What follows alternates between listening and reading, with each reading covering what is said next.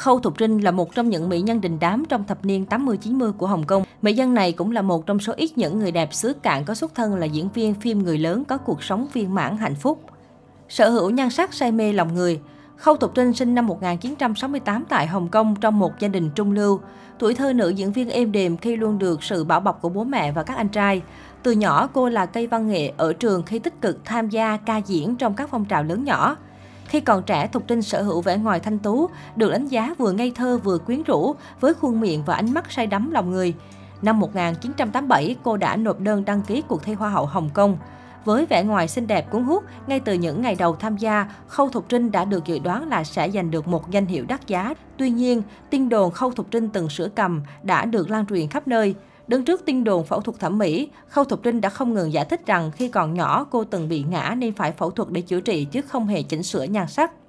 Thế nhưng trước sức ép của dư luận, mỹ nhân này đành phải ngậm ngùi rời khỏi cuộc thi dừng chân ở top 12. Dù vậy, Khâu Thục Trinh vẫn chiếm trọn spotlight của cuộc thi sắc đẹp này. Thậm chí báo chí Hồng Kông lúc bấy giờ còn dành riêng cả trang báo để đăng ảnh cô khi ngôi vị Hoa hậu đã được tuyên bố. Mặc dù thất bại ở cuộc thi nhan sắc nhưng lại là cơ hội mở ra cánh cửa diễn xuất đến với người đẹp. Các giám chế từ đài TVB đã đích thân ngỏ lời mời Khâu Thục Trinh ký hợp đồng trở thành diễn viên. Đối với một cô gái không có bất cứ danh hiệu nào sau cuộc thi, đây có thể xem là cơ hội hiếm hoi. Đây chính là mơ ước của nhiều người. Sau khi ký hợp đồng với đài TVB và cùng với các mỹ nhân đình đám như Ngô Quân Như, Mai Diễm Phương, Tăng Hoa Thiên, Trương Mạn Ngọc, Lam Khiết Anh, La Mỹ Vi, Lưu Gia Linh, Anna Weimar, cô được mệnh danh là cửu long nữ. Đặc biệt sau vai diễn bốc lửa trong sát thủ loại thể, Khâu Thục Trinh được khán giả đặt cho biệt danh nữ thần phim 18 cộng. Những cảnh nóng gợi cảm của cô trở thành tâm điểm bàn tán của giới truyền thông lẫn giải trí thời gian dài. Mặc dù nổi danh nhờ các bộ phim người lớn nhưng Khâu Thục Trinh vẫn rất giữ mình trước ống kính. Nữ diễn viên từ chối mọi cảnh khỏa thân dù thù lao được trả rất cao. Nữ diễn viên từng nói thẳng thắn với các đạo diễn rằng thoát y nhưng không để lộ những bộ phận nhạy cảm. Mặc dù Khâu Thục Trinh nổi lên nhờ đóng phim nóng nhưng rất được tôn trọng của các đồng nghiệp trong giới. Nhờ khả năng diễn xuất hết mình và tâm huyết với nghề, các phim cô đóng bất kể là phim giải trí hay chính thống đều đạt được hiệu ứng tích cực từ khán giả. Nhờ tài năng diễn xuất, Khâu Thục Trinh từng được đề cử cho giải ảnh hậu Kim Tượng và giải ảnh hậu liên hoan phim Bát Linh.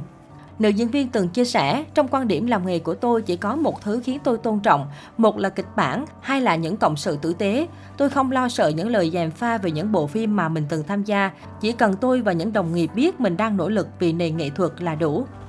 Chịu phận tiểu tam 5 năm được đạo diễn cưng như trứng. So với những đồng nghiệp cùng xuất thân là diễn viên phim người lớn, Khâu Thục Trinh lại được ưu ái hơn nhiều nhờ được đạo diễn Vương Tinh chăm sóc cẩn thận. Mỗi khi Khâu Thục Trinh quay cảnh nóng, Vương Tinh đều sẽ đuổi mọi người ra bên ngoài, chỉ để lại nhân viên công tác nữ phụ trách trang phục và nữ nhiếp ảnh gia để bảo vệ nữ diễn viên khỏi điều tiếng. Không chỉ thế, Vương Tinh còn tìm cho Khâu Thục Trinh nhiếp ảnh gia tốt nhất, chỉ đạo mỹ thuật giỏi nhất, tạo dựng nên một hình tượng báo vật gợi cảm quyến rũ nhưng không phong trần, mỹ diễm mà không tục tiểu. Nhờ đó, Khâu Thục Trinh trở thành dục vọng của toàn phái mạnh Hồng Kông. Khi đó, chuyện tình cảm của cặp đôi từng khiến không ít người trong giới ngưỡng mộ. Ngay cả Hoa hậu Hồng Kông đẹp nhất Lý Gia Hân cũng từng phải bày tỏ sự hâm mộ ghen tị. Vương Tinh là kẻ si tình, cái gì cũng có thể làm vì Khâu Thục Trinh.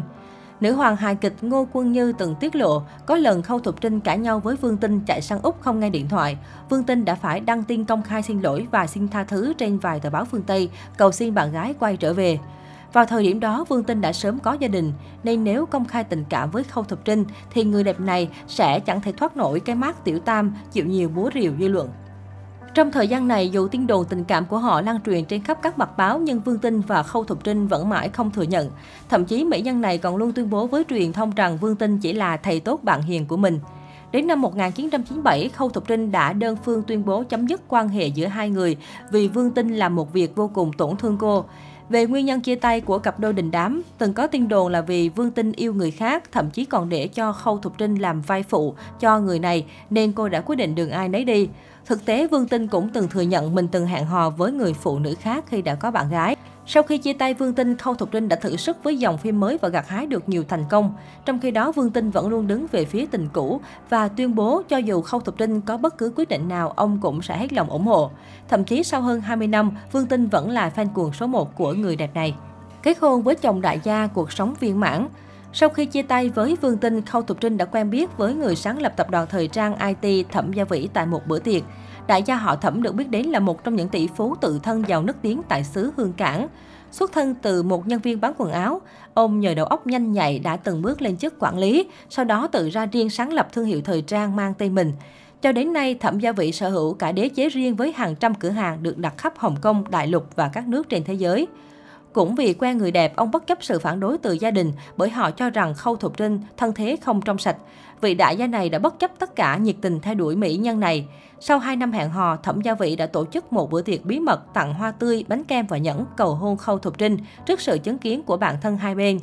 Đứng trước sự đàm tiếu của dư luận, Thẩm Gia Vĩ tuyên bố, cứ được dục vọng của toàn phái mạnh Hồng Kông, cho dù là sa đọa nhưng tôi vẫn vui vẻ. Sau khi kết hôn, sự nghiệp của đại gia họ Thẩm lại có thêm những bước phát triển mạnh. Báo chí phong tặng danh hiệu cho Khâu Thục Trinh là sao nữ Hồng Kông vượng phu nhất. Với đầu óc kinh doanh nhạy bén và con mắt thời trang tinh tường, Khâu Thục Trinh đã giúp đỡ ông xã rất nhiều trong sự nghiệp. Thậm chí năm 2005, khi công ty của Thẩm Gia Vĩ được đưa ra thị trường, cô đã lấy tiền riêng của mình ra giúp đỡ. Bù lại, Thẩm Gia Vĩ đã đem 25% cổ phần chuyển sang cho vợ, để cô trở thành cổ đông của công ty. Tới năm 2011, tài sản của Khâu Thục Trinh đã lên tới hơn 10 tỷ đô la Hồng Kông, 29,8 nghìn tỷ, gấp 25 lần thiên hậu Vương Phi. Sau khi rời khỏi làng giải trí, Khâu Thục Trinh đã có một cuộc sống an nhàn hạnh phúc. Vợ chồng cô đã có ba cô con gái xinh đẹp với khối gia tài cực khủng. Trong ba cô con gái của mỹ nhân họ Khâu, Thẩm Nguyệt nổi tiếng hơn cả khi thừa hưởng nhan sắc và khí chất từ mẹ. Trong những năm gần đây, Thẩm Nguyệt nổi tiếng không thua mẹ thời trẻ khi bắt đầu dấn thân hoạt động thời trang.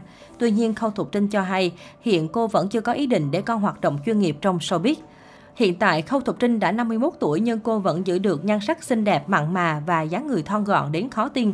Mỗi khi xuất hiện, nữ diễn viên đều khiến dân tình trầm trồ vì vẻ ngoài của mình.